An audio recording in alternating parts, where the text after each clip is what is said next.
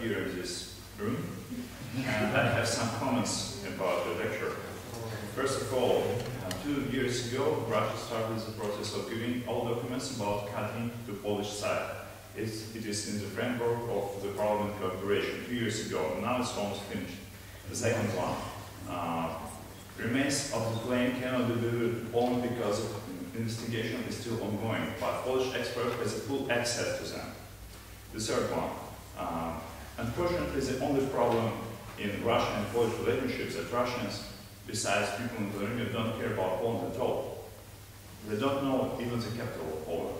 Except Ukraine. Yes. of course, and it's not, it's not a Poland, a Russian favorite enemy, but Russia is uh, an object of accusation for any problem in Poland. Uh, also, there is a question between German and Polish historians, and this is a question because about the scale of Holocaust. It's still also a question. And I heard that you forgot to mention that this uh, cross-border movement between Kaliningrad and Poland uh, was so happy uh, in Poland. This uh, well, Sikorski was so happy because it also um, had to to resolve the problem of unemployment in the eastern part of Poland. Because there are long lines of thousands of Polish young people standing in the long lines on the border who come to Kaliningrad, buy gasoline and come back and sell it. So that's it. And also, one small comment. It's really funny to see these numbers about, I mean, sociology, because you compare the two countries, Poland and Germany, who are in EU and Russia. It's really impossible to compare. Uh, this is a very uh, interesting uh, remark. Uh, I could, uh, we could discuss ourselves uh, for half an hour now. I think more. More. Half of our lives. We have nine more minutes. So. No, it is quite simply with Katyn what has not keep given to the Polish side is the Attorney General's uh, documents. Uh, this has been declared uh, uh secret.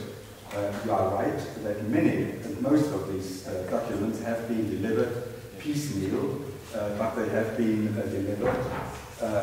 the Polish experts may have access to the, do have access, but it would be more confidence building if the, the, the rack, uh, if this airplane would be delivered to Poland, and Russian experts could uh, continue their four-year lasting uh, uh exploration. But it's a question of confidence and not a question of international law or something. Uh, it is international law, uh, of course, when the explorations have been finished. But I'm not an expert on uh, accident on railway uh, on uh, plane accidents, but uh, for me, uh, four years is a long time.